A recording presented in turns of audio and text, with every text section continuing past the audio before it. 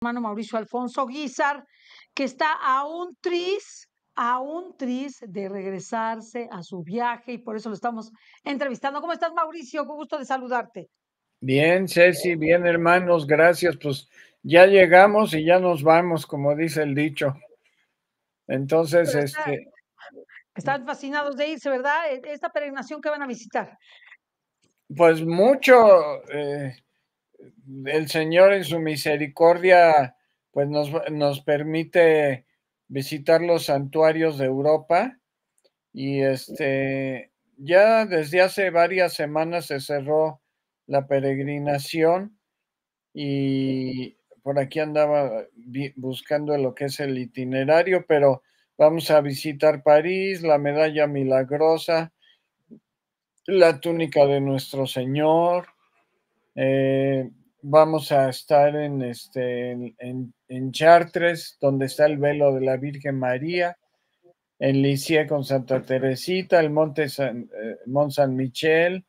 Vamos a visitar la casa y la tumba de Gabriela Bossis, la gran mística francesa. Ay, ya no me digas. Después vamos a ir a la Catedral de Tours y a visitar las reliquias de San Martín de Tours, a quien le llaman San Martín Caballero, ¿verdad? Luego vamos a ir a Nevers a ver el cuerpo incorrupto de Santa Bernardita, a parar monial con el Sagrado Corazón. Después vamos a ir a Ars. Em, vamos a estar también en La Salette. Vamos a ir a la aparición de la Virgen en Laos. Apt con las reliquias de la mamá de la Virgen María, que es Santa Ana. Sí. Eh, también a San Maximín la San a la, a la gruta donde falleció y donde están las reliquias de Santa María Magdalena, la sábana santa de Turín, la Basílica de eh, María Auxiliadora con la tumba de San Juan Bosco, Santo Domingo Sabio, la Catedral de Milán que tiene un clavo de, de la cruz donde fue crucificado nuestro Señor, Roma, Vamos a estar en audiencia con el Santo Padre. Luego Santa Filomena al sur, al sur de Nápoles. Eh, después vamos al Monte San Angelo, a San Miguel Arcángel, a San Giovanni Rotondo, luego el milagro eucarístico del Anciano, luego Asís con Carlo Acutis y este, San Francisco Santa Clarita, las hostias incorruptas en Siena, San Antonio de Padua y San Leopoldo Mandic y San, ¿cómo se llama? Eh, San Lucas Evangelista, San Marcos en Venecia. Después vamos a ir a Sadar, donde está la tumba de el anciano Simeón, San Simeón, que recibió en sus brazos al niño Dios en, en el templo de Jerusalén, y luego Medugori. Van a ser 28 días y vamos con Pablo Vivas. Así es que seguramente estaremos haciendo programas en conjunto los dos, o él y yo por ahí de colado de repente en estos santuarios lindos donde vamos a recibir las gracias y bendiciones de nuestro Señor. Y, pero bueno. ¿Cuándo se van? Pasado mañana, 10 de abril. Pero ya, ya se les acabó el tiempo. Sí, gracias al Señor. Entonces vamos a estar casi un mes fuera. Sí. Y este, pues bueno, ahí estamos. Eh, también eh, a ver si luego hacemos algún programita donde pasemos algunas fotos de lo que estuvimos viendo nosotros en Palermo y en, Malta.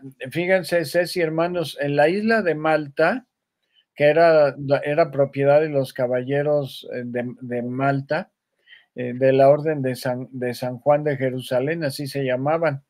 Allá por oh, finales de los años 1100, el Papa en turno, cuando regresaron estos caballeros de las cruzadas de Jerusalén, los dejó vivir en la isla de Rodas y después les, este, en el siglo XVI, 15, 16 por ahí, el rey de España les regaló la isla de Malta y entonces fueron a vivir ahí y ellos eh, a finales de los años 1500 les tocó enfrentar en el sitio de Malta a los turcos, que fue una batalla terrible. Ellos eran 500 caballeros eh, los apoyaron después este, un contingente de cinco mil españoles y después nueve mil sicilianos, que los mandó el rey de Sicilia, y lograron contener a miles, miles de turcos que llegaron ahí. Este, hicieron un sitio de más de un mes y lanzaron los turcos 13 mil cañonazos contra, contra los caballeros de Malta. Entonces destrozaron los, los fuertes, pero eh, eh, por un milagro de Dios vencieron los cristianos, los caballeros de Malta, a los turcos. Que si ellos hubieran vencido, pues nosotros hubiéramos sido musulmanes porque nos habrían, nos habrían este, musulmanizado en lugar de habernos evangelizado los franciscanos, hubieran llegado los musulmanes a América. Entonces, a los, a los caballeros de la Orden de Malta les debemos eso. Y además ellos construyeron allá el hospital más moderno y más grande de toda Europa, donde podían caber más de 1.500 personas y, los atendían con instrumentos de plata pura, porque la plata eh, es, es repelente a los microbios, a las bacterias, y era un hospital exclusivamente para hombres. Y entonces, este, pues allí iban hombres de toda Europa a curarse. Y, y por eso tienen la, la, la tradición de mantener y de ayudar a la creación de hospitales católicos. Incluso ellos en Medjugorje tienen la única clínica, clínica pública que es eh, atendida por los caballeros de Malta precisamente y que nos ha sacado de muchos apuros este, durante la pandemia y también cuando ha habido alguna persona que se tuerce el tobillo, lo que sea, o enfermo que le da gripa, bronquitis, ahí vamos y siempre atienden a los peregrinos muy bien, con mucha caridad. Qué padre. No, y, y, además eh, fuimos a visitar en la isla de Malta una ciudad que se llama Medina, Medina, como Medina, pero no es una Medina musulmana, es católica. El 98%, Ceci hermanos, de la población en Malta son católicos practicantes. El 98%. ¿Cuántos habitantes eran? ¿Cuántos habitantes son? Pues tiene muy poquitos, ahora te voy a decir. Es buena, es muy buena pregunta. Gracias. Pero este lo curioso es que en todas las casas en todas las casas este, hay un nichito con un vidrio donde según el tiempo litúrgico ponen imágenes sagradas.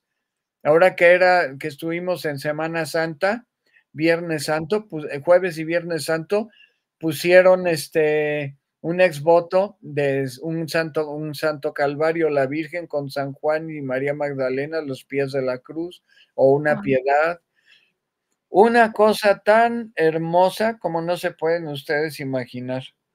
Y aquí estoy checando cuántos habitantes tiene. Uy, tiene que medio millón de habitantes. Pero es como un Medugori.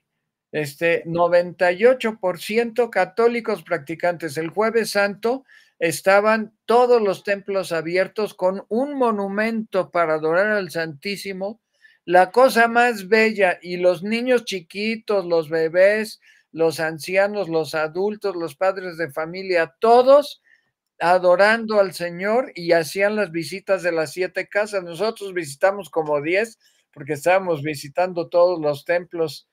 Este, y una cosa hermosa, los templos bellísimos con mármoles y todo, la gente extraordinaria. Les mandamos un abrazo lleno de cariño a nuestros hermanos en Malta. En Malta, en Malta. Estuvo precioso. ¿Qué, otro lugar visitaste Malta y qué otro lugar? Uy, visitamos Turquía.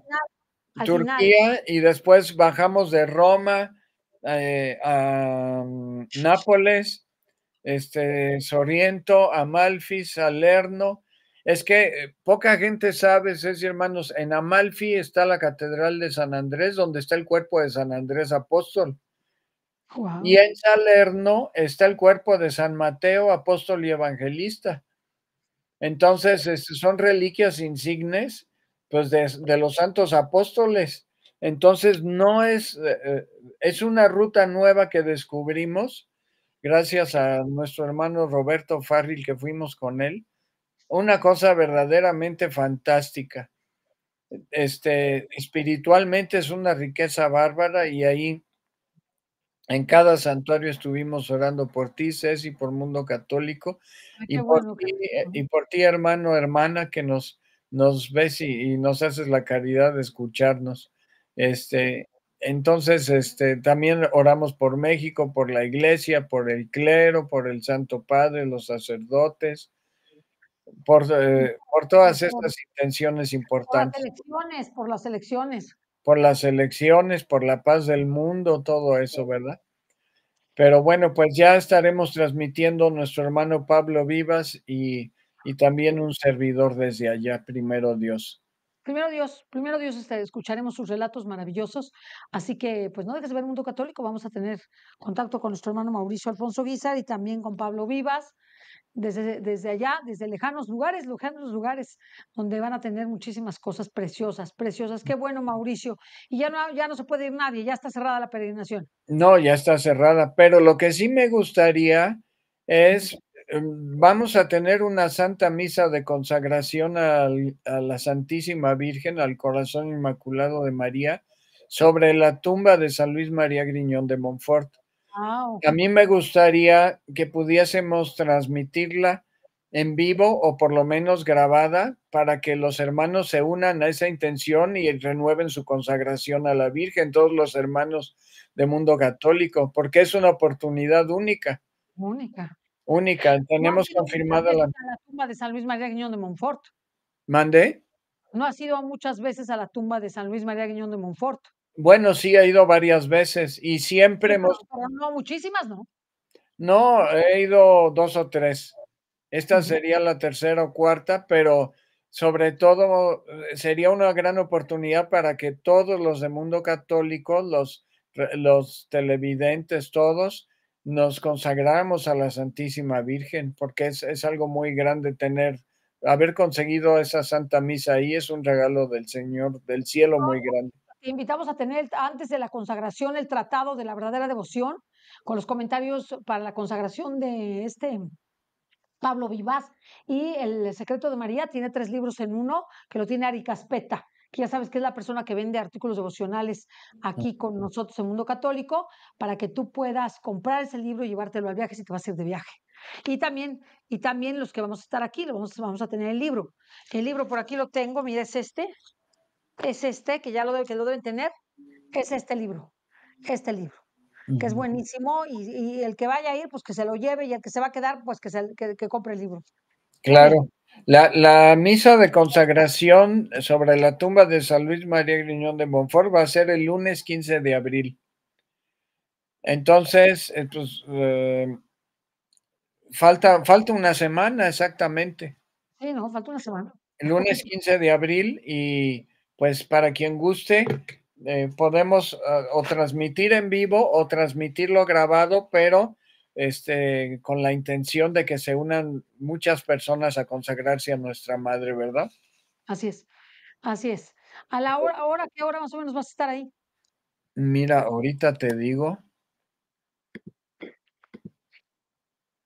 Ahorita te digo en un minuto. Ya estamos viendo, a ver. El lunes 15 de abril es... Ahora te digo. Es a las 3 de la tarde, hora de Francia. Entonces es 3, 3, 2, 1. A la sería 8 de la mañana. 11, 8 de la mañana. Pues me tienes que avisar para poder tener a alguien que me transmita. Sí, sería el lunes 15 de abril, 8 de la mañana, hora de México. Por si quieren, es, ya, este, con mucho gusto, con mucho cariño, lo tra podemos transmitir en vivo, si les parece. Sí, mm. yo creo que sí. Claro que me parece. Perfecto. Excelente. Pues bueno. tenemos el día de hoy también un programazo, además de invitarte a, a escuchar siempre a Mauricio, un programazo sobre eh, la Santa Gema Galgani y su diario. Cuéntanos, ¿qué vamos a ver el día de hoy? Vamos a continuar las meditaciones eh, de Santa Gema, eh, de su libro, el libro que el demonio le robó y que Dios se, lo regresó después de que su director espiritual hiciera un exorcismo. Entonces, vale la pena, mira, Ceci, miren, Ceci, hermanos, yo le estoy apostando a que empecemos una etapa de formación espiritual.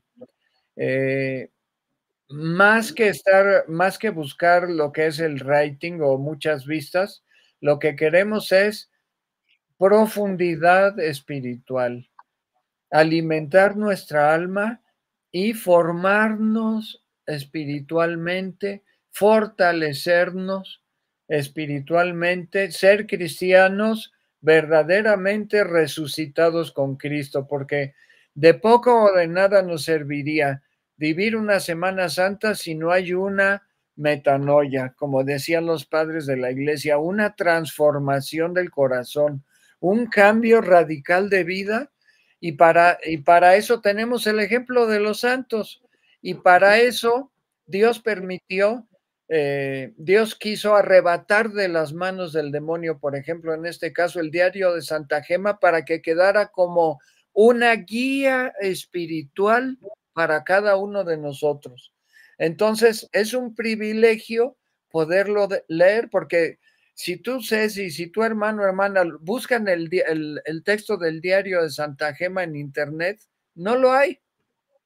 Simplemente no lo hay. Hay algunos libros que mencionan pedacitos, pero yo logré, por misericordia de Dios, logré encontrarlo y logré, logré bueno, lo escaneé, lo escaneé del libro eh, eh, permíteme, lo, voy a volver a tomar y a mostrar a nuestros hermanos. Ah, el libro. Aquí está.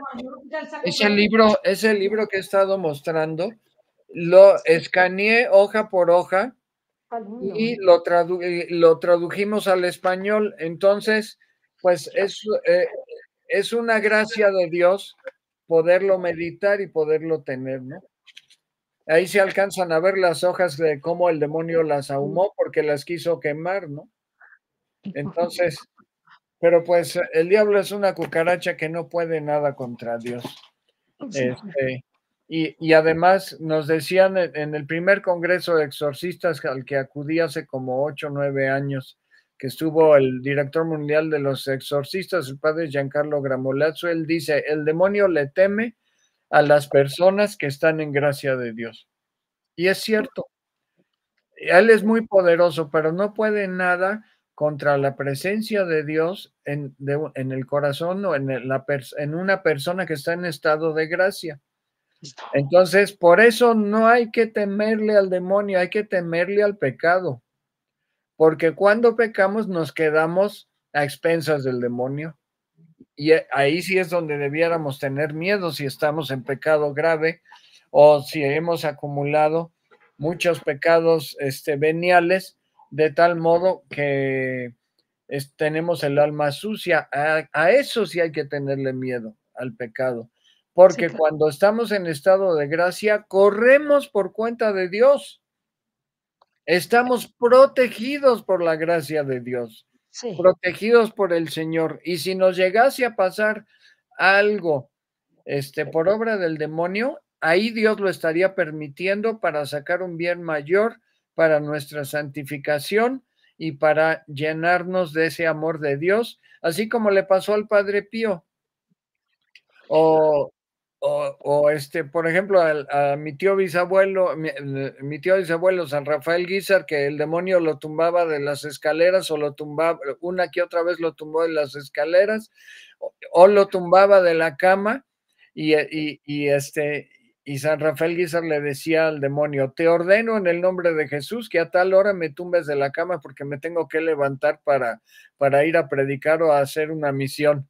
Y entonces el demonio no puede desobedecer ante una orden de parte de Dios y lo tumbaba de la cama a la hora que él necesitaba, ¿no?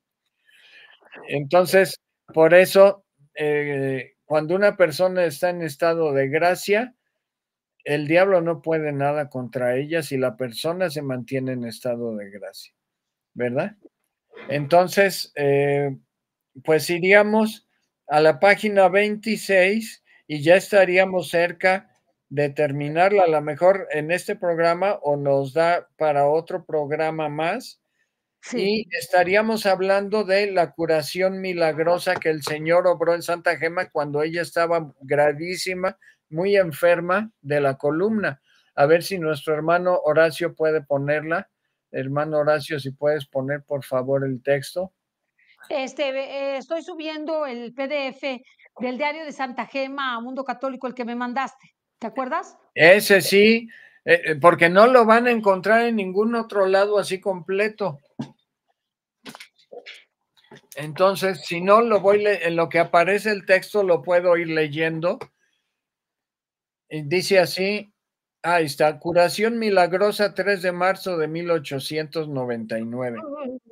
Dice, entre tanto pasaban los meses y yo no notaba ninguna mejoría de su enfermedad de la columna grave.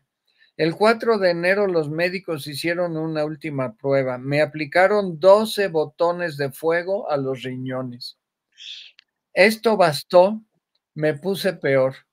A esos males se añadió el 28 de enero un dolor de cabeza, cabeza verdaderamente insoportable. Llamado a prisa en médico, el médico declaró que el mal era peligroso. Siguiente página, por favor. Se trataba de un tumor en la cabeza, pero cerca de la columna, cerca de la columna. La operación no podía hacerse porque estaba en extremo debilitada. Empeoraba por días y el día 2 de febrero recibí la comunión por viático. Me confesé y esperaba el momento de volar con Jesús. Ya se preparaba para morir. Pero despacio, los médicos creyendo que yo nada oía, dijeron entre sí que no llegaría yo a la medianoche. Viva Jesús. Una de mis maestras de las que ya he hablado anteriormente vino a verme y al mismo tiempo a despedirse hasta el cielo. Me, me, suplicó, no obstante, que hiciese una novena a la Beata Margarita María de Alacoque diciéndome que sin duda alguna me concedería la gracia de curar perfectamente, o bien apenas muriera, de volar al cielo enseguida. Dicha maestra quiso, antes de retirarse de la cabecera de mi cama, que le prometiese empezar aquella misma tarde la novena. Era el 18 de febrero. Para que vean, Ceci, hermanos, que a Dios le gusta obrar obrar a través de la intercesión de los santos, porque hay quien dice, no, yo no necesito de la Virgen ni de los santos, yo directo con Jesús, al puro estilo protestante, ¿no? Pero Jesús quiere servirse del cuerpo místico de Cristo, para eso son los santos. Eh, los santos son eh, intercesores ante el Señor y es Jesús mismo que intercede por nosotros a través de las oraciones de ellos. Es un misterio lo que es la comunión de los santos, perdón. Sí. vamos, súper sedientos, está haciendo un clima muy raro. Un calor tremendo. Tremendo. Un calor tremendo. Dice, eh, la comencé en efecto, la hice por primera vez esa misma tarde, 18 de febrero de 1899, pero al día siguiente me olvidé. Volví a empezarla el día 20, pero otra vez me la olvidé. Hasta aún haciendo mal las novenas, Dios nos escucha, hermanos. Vaya cuidado por la oración, ¿verdad, Padre mío? Dice Santa Gema. El 23 de, febrero la empecé por tercera vez, o por mejor decir, tuve intención de, de empezarla. Pero faltaban pocos minutos para la medianoche cuando oigo agitar un rosario. Fíjense, y una mano viene a posarse sobre mi frente. Oí que empezaban un pater, ave y gloria durante nueve veces seguidas. Yo apenas si respondía porque estaba aplanada por el mal. La misma voz que había guiado los Padres Nuestros me preguntó, ¿quieres curar? Me da lo mismo, respondí. Ni siquiera dijo intensamente Santa Gema, sí, quiero. Estaba tan mal del dolor de cabeza y todo que dijo, me da lo mismo. ya me dijo que sí, sí. Sí, y dice, sí, Dice, sí, añadió, curarás, eh, curarás, ruega con fervor al corazón de Jesús todas las tardes. Mientras no se termine la novena, vendré yo aquí contigo y juntos rogaremos al corazón de Jesús. Y la beata Margarita le dije, añade también tres Gloria Patri en su honor. Así lo hice por nueve noches seguidas. Todas ellas volví a la misma persona. Me ponía la mano sobre la frente, rezábamos juntos los Padres Nuestros al corazón de Jesús y luego me hacía añadir tres Gloria a la Beata Margarita. Era el penúltimo día de la novena y al, y al término de la misma quería recibir la Sagrada Comunión. Terminaba precisamente el primer viernes de marzo. Llamé al confesor y me confesé muy temprano comulgué, porque si queremos recibir sanación, hermanos, física, psicológica, espiritual, hay que confesarnos antes, es mejor. ¿Qué momentos tan felices pasé con Jesús? Me repetía, Gema, ¿quieres curar? La emoción era tan grande, tan grande que no podía contestar. Pobre Jesús, la gracia había sido hecha, estaba curada. Y repito, esta curación fue eh, documentada, llevada al Vaticano, y ese fue el milagro para la canonización de, de la Beata Margarita María de Alacoca. Una santa intercede para curar. Exactamente. Pero la gracia de Dios funciona mejor cuando estamos en estado de gracia que no de desgracia, perdón. Sí, de desgracia, de desgracia. Bueno.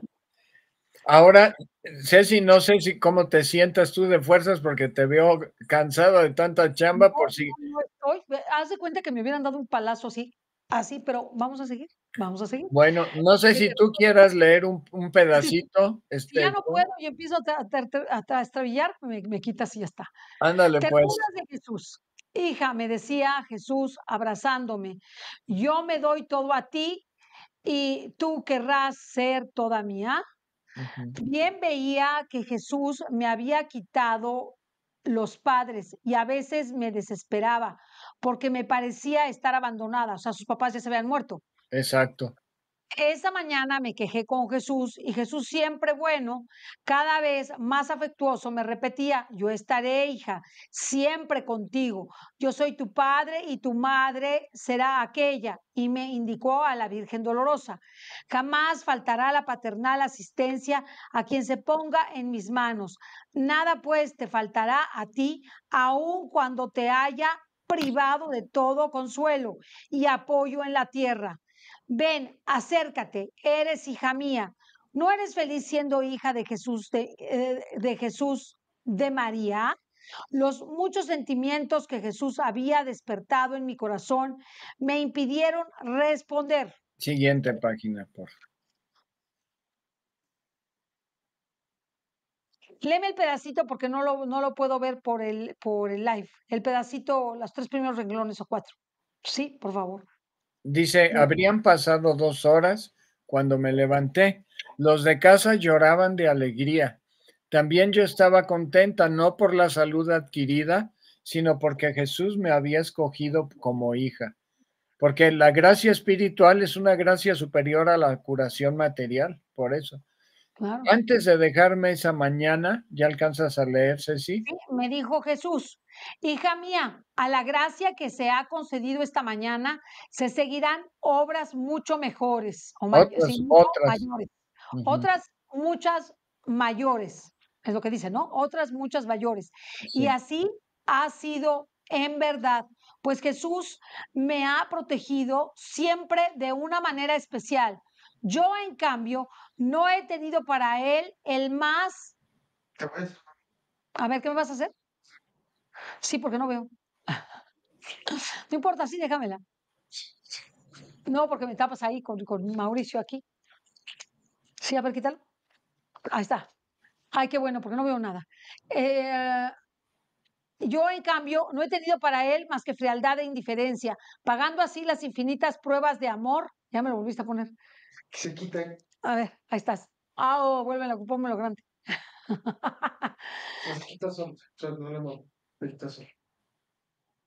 Okay.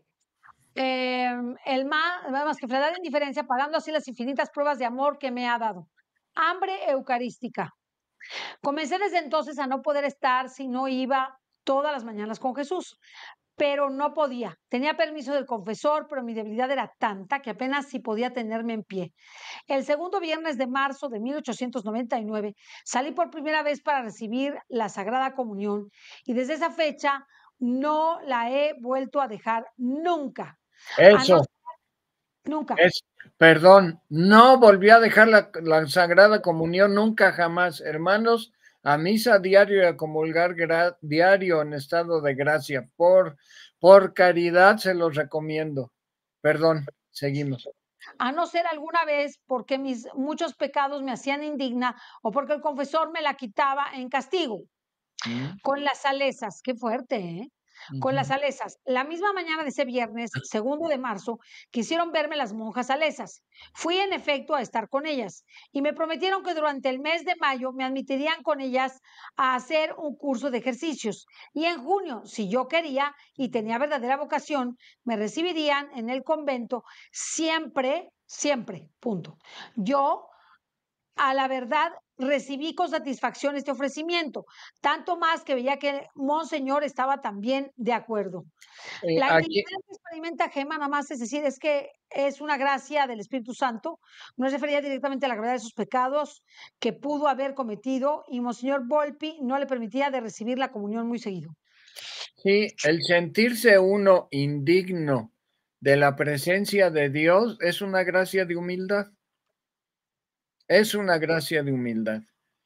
Eh, en, el, en la peregrinación nos acompañó un sacerdote agustino, el padre Mauricio Custodia Alberto, Alberto, y él nos insistía que la fe se transmite por el testimonio. Dice, una persona que es un verdadero cristiano con fe y cristiano maduro trata a los demás con exquisita caridad siempre. Eso nos dijo. ha dicho verdad. Y este, y dice que ahí es donde se ve si amamos a Cristo, porque en el hermano está Cristo. Dice que si yo voy a misa, comulgo y después maltrato psicológicamente a los demás, o físicamente, o cosas así, o me expreso con agresividad hacia los demás, o lo que sea, eh, o con sentido de superioridad, eso quiere decir que verdaderamente no amo a Jesús. Y eso, eso, eh, eso nos impactó mucho, mucho. Eh, no, no, nunca voy a olvidar esa misa que tuvimos el jueves santo en Italia. como ningún templo nos quiso dar alojamiento espiritual, tuvimos la Santa Misa de Jueves Santo con lavatorio de pies en un hotel y fue una misa muy íntima donde el padre lavó los pies a 12 hermanos del grupo y nos dijo eso, así tenemos que amarnos y servirnos unos a otros con ese amor, con ese respeto. Fue una misa muy profunda, muy, muy bella y, y, y fíjense, Ceci, hermanos, cómo se ve cómo Santa Gema ante el dolor de una enfermedad, como que pierde fuerzas, pierde voluntad para orar. Y es una, una gran santa mística estigmatizada. Eh, siente siente el, el, peso de la enfermedad a tal grado que no siente ánimos de orar, pero haciendo un esfuerzo sobrehumano, completa la novena que la, la, la, tuvo que empezar tres veces. Pues así hay que luchar en la vida espiritual, Ceci, hermanos. Así hay que luchar en la vida espiritual y vencer. Venceremos en el nombre de Jesús. Pero hay que echarle ganas diario, diario.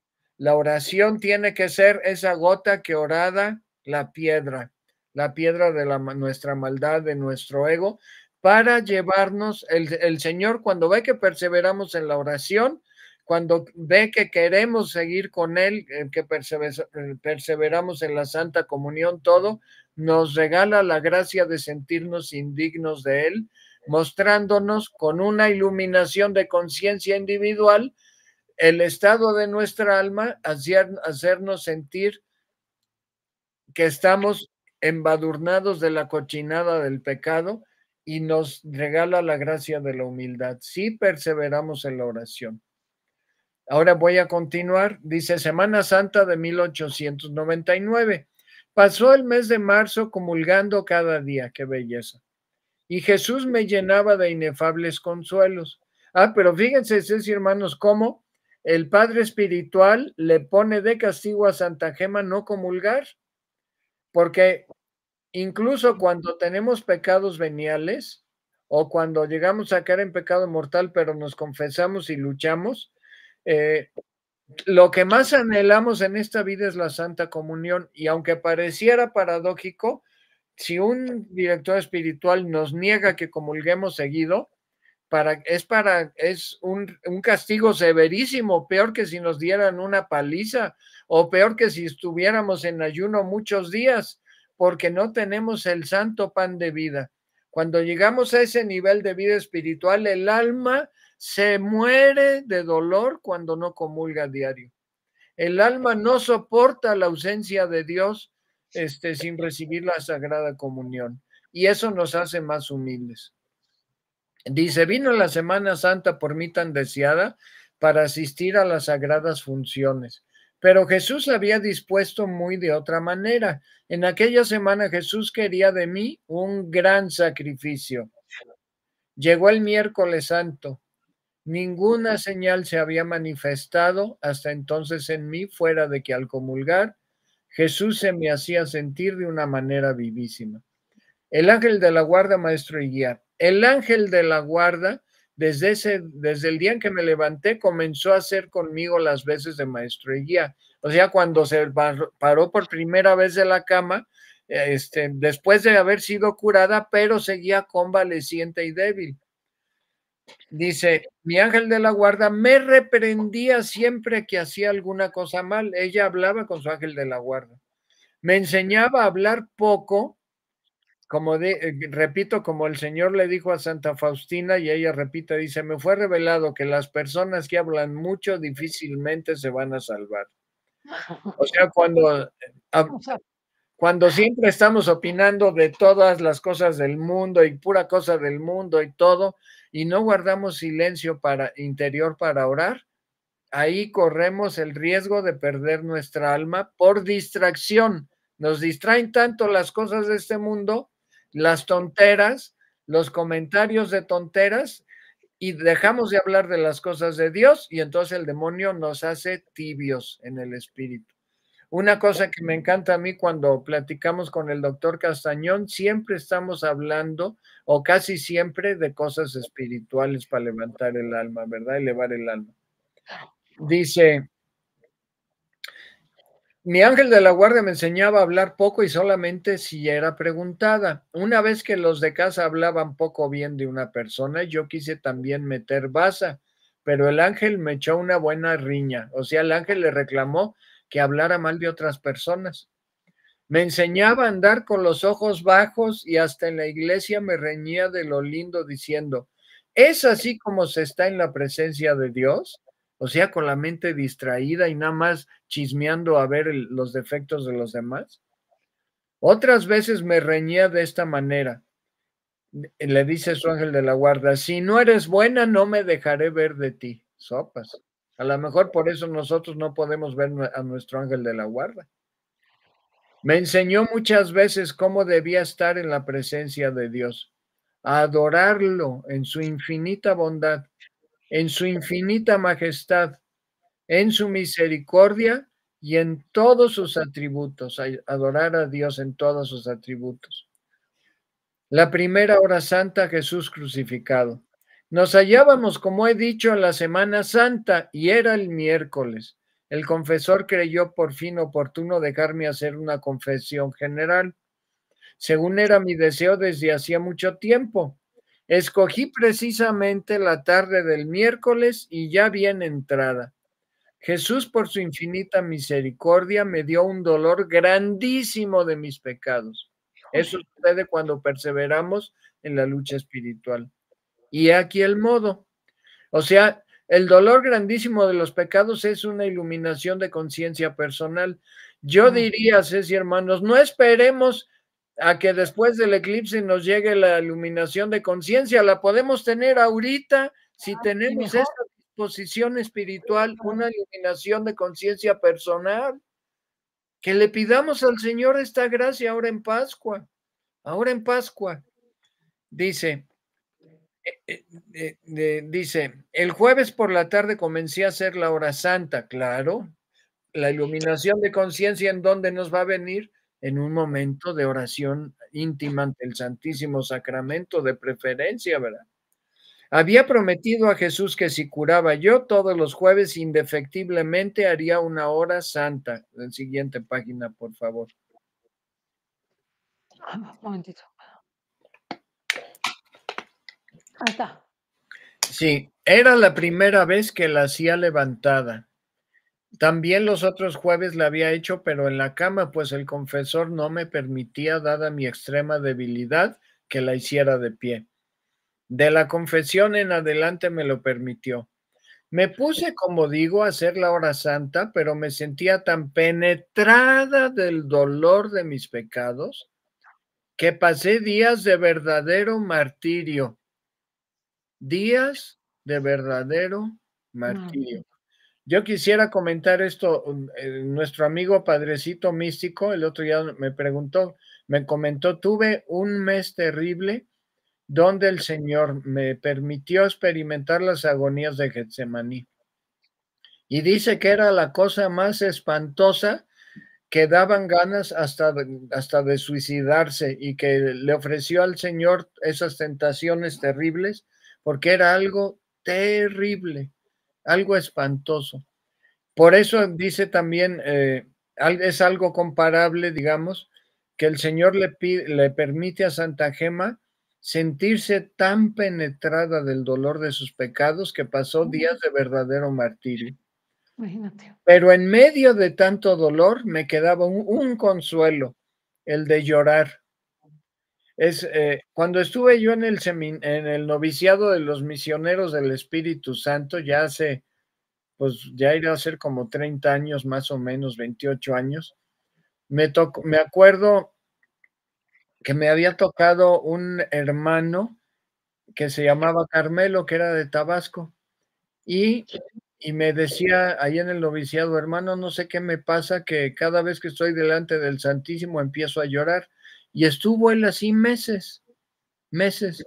Y su director espiritual le dijo, eso, a eso se le llama, hermano, el don de lágrimas. Es la gracia que Dios nos da de sentir el dolor de nuestros pecados, porque él dice que se acordaba de los pecados mortales que había cometido en su vida y sentía dolor de haber ofendido a Dios y de haber abusado de las personas y lloraba y lloraba y lloraba, se confesaba otra vez y lloraba y empezaba a recordar pecados que no había recordado desde hace mucho tiempo. El don de lágrimas, hermanos, el don de lágrimas. Por eso dice Santa Gema, en medio de tanto dolor me quedaba un consuelo, el de llorar.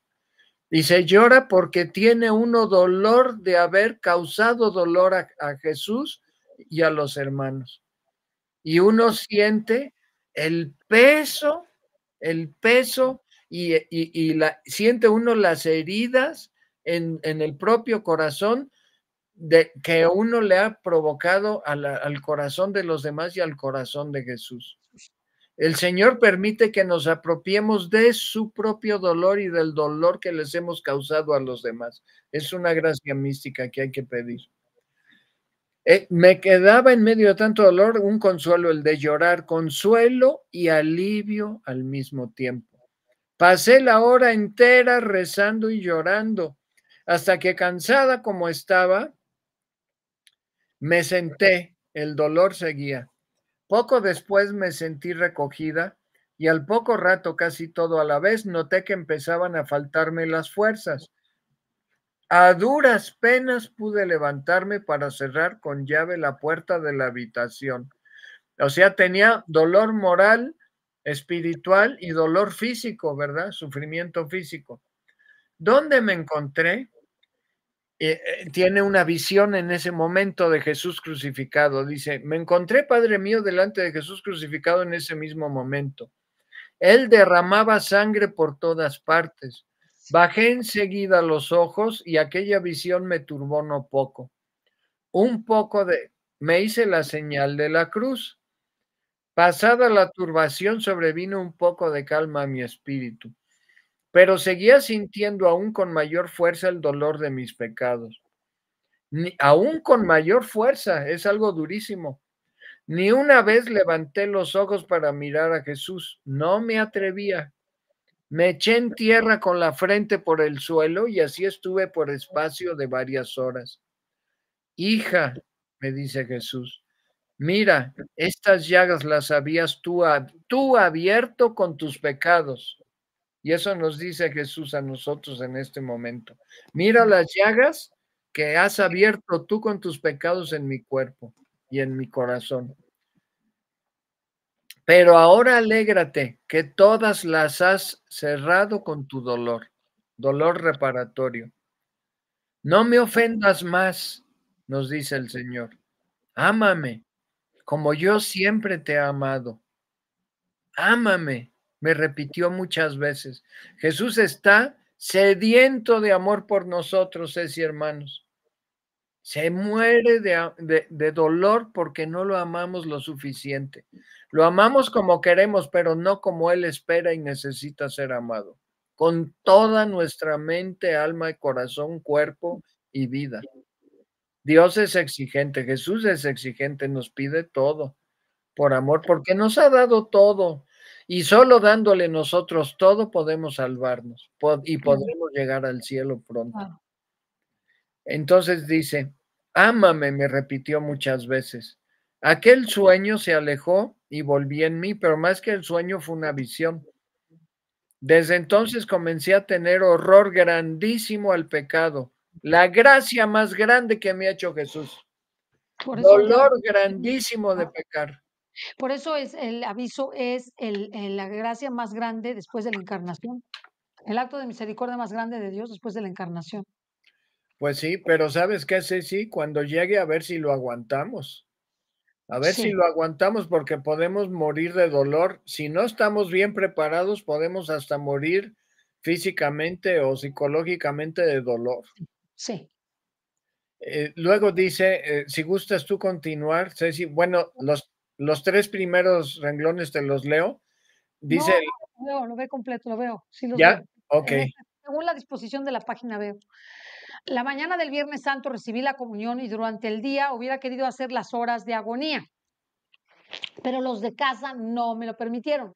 A pesar de mis lloros y haciéndome violencia, ofrecí este primer sacrificio a Jesús. Imagínate qué sacrificio, pobrecita. Y Jesús, siempre tan generoso, a pesar de que no lo había hecho a la fuerza. De que lo, había. ¿No? Pues habiéndome encerrado en mi habitación para hacerlas yo sola, no estuve sola, vino conmigo el ángel de la guarda, lloramos juntos, asistimos a Jesús en todos sus trabajos, compadecimos a la Virgen nuestra Madre en todos sus dolores. No dejó, sin embargo, mi ángel de hacerme un dulce reproche, diciéndome que no llorase cuando tuviera que hacer algún sacrificio por Jesús, sino que diera gracias a los que me ofrecían ocasión de hacerlo. Qué barba. No solo no quejarnos de los demás, que nos, que nos imponen cosas duras. Ni llorar, ni llorar. Eso. Fue esta la primera vez y el, el primer viernes que Jesús se hizo sentir a mi alma de modo tan fuerte y aun cuando no recibiera, no recibiera, porque era imposible, de manos del sacerdote a Jesús verdadero, sin embargo Jesús vino por sí mismo y me dio en comunión a mi alma. O sea, le dio la comunión él directamente. Y fue tan íntima esa nuestra unión que yo estaba como estupefacta. Mm. Jesús me habló de modo muy sensible. ¿Qué haces? Me decía. ¿Qué dices? ¿Qué me dices? Ni siquiera te conmueves. Fue entonces cuando, no pudiendo resistirlo más, dije con energía, oh Jesús, pero ¿cómo? Tú perfectísimo y santísimo, no tienes otra cosa que amar sino a mí, que soy toda frialdad e imperfección. Estoy loco, me repetía Jesús, por unirme a ti. Corre, ven todas las mañanas. Pero mira bien, me decía, que yo soy un padre y un esposo celoso. ¿Me serás tu hija y esposa fiel? Fueron miles de promesas las que hice a Jesús esa mañana. Pero Dios mío, cuán pronto las olvidé. Tenía siempre horror al pecado, mas a pesar de ello lo cometía continuamente. Y Jesús, y Jesús ¿Cómo nos parecemos a Santa Gema, verdad? En ese aspecto, digo. A ver, que se quite porque tengo... No, no podía estar contento. Sin embargo, seguía consolándome y me mandaban a que de la guarda para que fuera mi guía en todo. Sucedido esto, lo primero que tenía que hacer era manifestarlo al confesor. Fue a confesarme, pero no me atreví. Salí sin haber dicho nada, me fue a mi casa. Y al entrar en mi habitación vi que mi ángel lloraba. No me atreví a preguntarle nada, pero por sí mismo espontáneamente me dijo, de modo que tú no me quieres ver, eres mala, calla las cosas al confesor. Ándale. Recuerda bien que te digo, te repito por primera vez, si vuelves a callar lo más mínimo al confesor, yo no me dejaré ver más de ti. Nunca, nunca. Me puse de rodillas y me mandó a que hiciese el acto de contrición, haciéndome prometer que en adelante se lo diría todo al confesor, Luego me perdonó en nombre de Jesús. Estábamos entonces en el mes de abril. Con impaciencia esperaba el momento de ir a hacer los ejercicios con las salesas, según me habían prometido. Una vez, o bien una mañana después de la comunión, Jesús me dio a conocer una cosa que le había disgustado. La había hecho la tarde anterior. Acostumbraban a venir a casa dos chicas, amigas de una hermana mía, y se hablaba no de cosas malas, pero sí mundanas. Yo tomé parte y dije lo mío como las demás, pero por la mañana Jesús me riñó tan ásperamente que se apoderó de, mí un terror tal que habría deseado no hablar ni ver a nadie. Qué fuerte. Jesús seguía, porque no había hablado cosas malas, había simplemente, ay, qué ropa, ay, qué bonita, ay, se veía bonita, se veía mal, cualquier tontería de esas. Jesús seguía haciéndose sentir diariamente a mi alma y llenándome de consuelo. Yo, al contrario, seguía volviéndole la espalda y ofendiéndole sin reparo alguno. Hasta aquí, a ver. Es que a mí me da vergüenza decirlo porque pues yo cometo eso muy seguido, pero Jesús es exigente, Ceci hermanos. Jesús es exigente. Dios es misericordioso y nos perdona siempre que nos arrepentimos, pero es muy exigente. Una condición para que la confesión sea válida es hacer la intención de no volver a cometer ese pecado. Y una cosa que le vomita a Jesús que no le gusta es que hablemos de cosas vanas sin meterlo a él en medio. O sea, que nos gane la conversación por cosas del mundo, aunque no sean malas, si son malas, peor, pero aunque no sean malas, sin meter a Jesús en la conversación en algún momento o en algo. O sea, porque eso es también perder el tiempo y el tiempo perdido los, los santos lo añoran, perdón. ¿Qué podemos hacer como San Juan Bosco? En toda conversación se las arreglaba para hablar de Dios para sembrar una semillita de Dios en algo, o para hablar de un modo positivo, que, que nuestro mayor tiempo sea, que la mayor parte de, de nuestro tiempo de diálogo con los demás sea un diálogo constructivo, humana y espiritualmente. Es poco el tiempo que tenemos en la vida, hermanos, para edificarnos unos a otros, y esa es una obra de misericordia edificarnos unos a otros. Los santos hacen eso. Respiran a Dios, reciben a Dios y hablan de Dios. Hablan de Dios, ¿verdad? Este. Sé de amor y. Voy, voy por ahí a ver un cachito más. Sé de amor y sufrimientos. Es el siguiente nivel. Primero, no pecar. Después, dolor de los pecados o iluminación de conciencia. Después, sentir vómito por el pecado continúa este, hablando, pensando solo, solo o mayormente cosas de Dios, la humildad, sentirse uno peor que nada, sed de amor y sufrimientos. Dos sentimientos y dos pensamientos bullían a la par en mi corazón, una vez que Jesús se hizo sentir por primera vez, seguimos, y se dejó ver de manera sangrante. El primero de amarle y amarle hasta el sacrificio, él primero de amarle y amarle hasta el sacrificio, pero como no sabía el modo de amarlo verdaderamente, rogué a mi confesor que me lo dijera, y él me respondió, ¿qué se hace para aprender a leer y escribir? Escribimos y leemos continuamente, y así se aprende.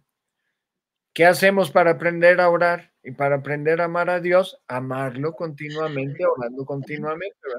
No me convenció esta respuesta, no entendí nada absolutamente.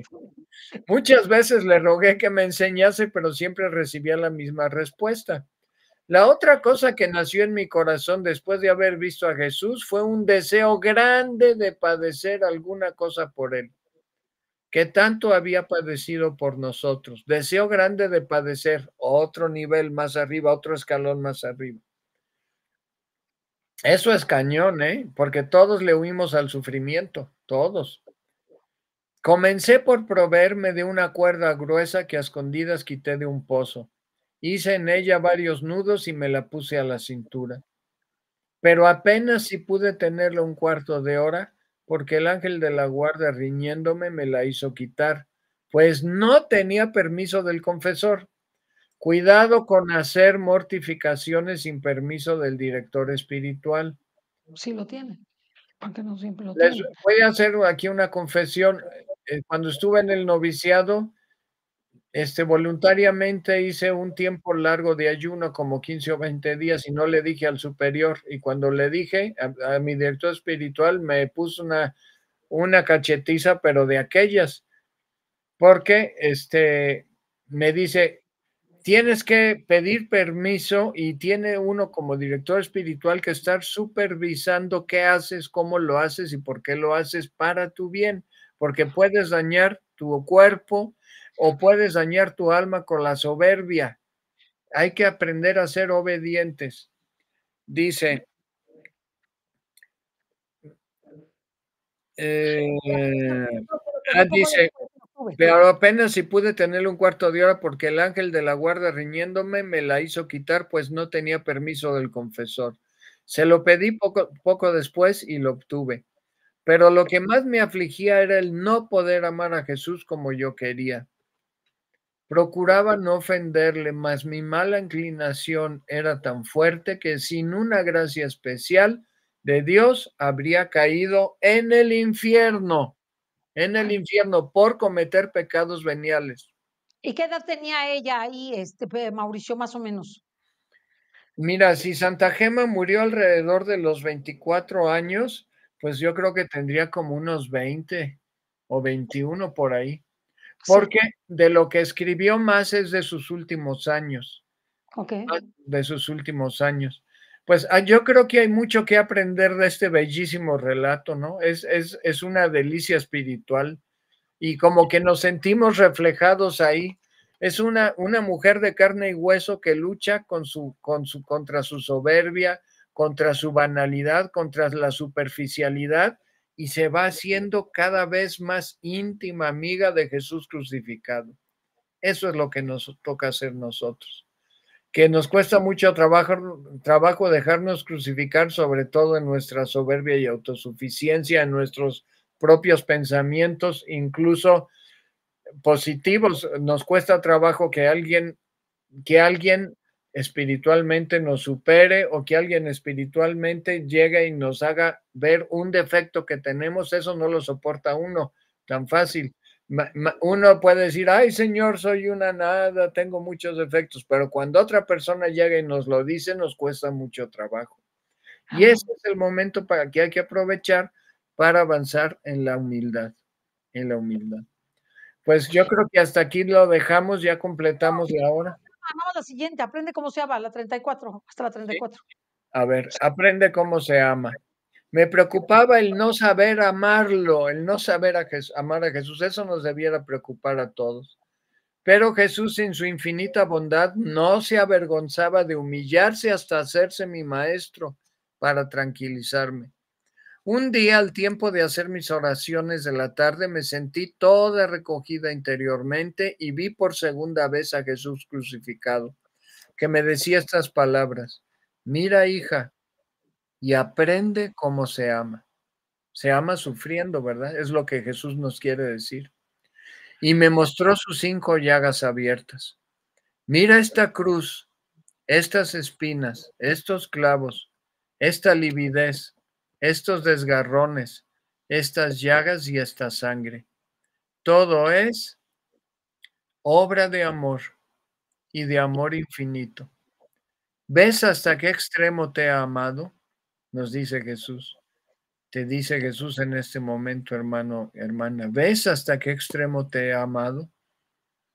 ¿Me quieres amar de verdad? Aprende antes a sufrir. Lo que tengamos que sufrir, sufrirlo por amor a Él de buenas. El sufrir, dice Jesús, enseña a amar. Tómala. El sufrir enseña a amar. Esta sería la gran frase de esta tarde. Aquella vista produjo en mí nuevo dolor y pensando en el amor infinito de Jesús para con nosotros y en los padecimientos que había tolerado por nuestra salvación, me desmayé no soportó ella tanto amor de Dios, tanto amor doliente de Jesús. No soportó psicológicamente y espiritualmente ver el dolor tan abrumador de que estaba padeciendo Jesús por amor a ella y a cada uno de nosotros.